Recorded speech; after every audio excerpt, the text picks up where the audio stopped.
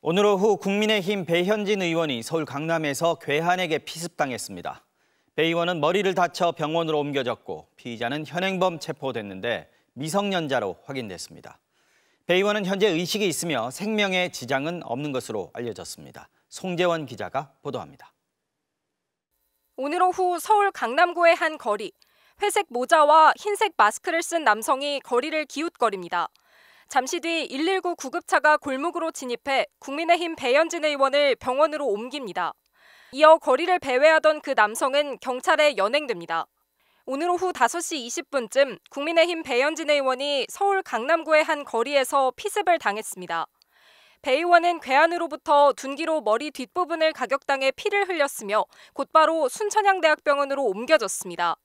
현재 의식은 있으며 생명에 지장은 없는 것으로 알려졌습니다. 당시 배 의원은 개인 일정으로 수행비서와 함께 이동 중이었습니다. 저희가 뭐 공지해드릴 내용이 있으면 공지를 해드릴게요. 그때까지는 조금만 배 의원을 습격한 괴한은 국회의원 배현진이 맞느냐며 접근한 뒤 범행을 저지른 것으로 파악됐습니다.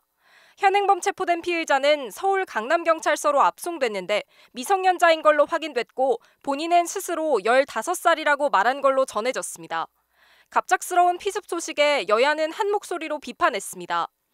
한동훈 국민의힘 비상대책위원장은 조금 전인 저녁 7시쯤 순천향병원을 찾아 가해자에 대한 철저한 수사와 단호한 대처를 촉구했습니다. 절대 일어나서는 안 되는 일어난 것이고 진상이 명확하게 밝혀져서 범인을 엄벌해야 합니다. 민주당 이재명 대표도 SNS를 통해 믿을 수 없는 사건에 상처가 저릿해온다며 어떠한 정치 테러도 용납해선 안 된다고 밝혔고 민주당도 규탄 성명을 냈습니다.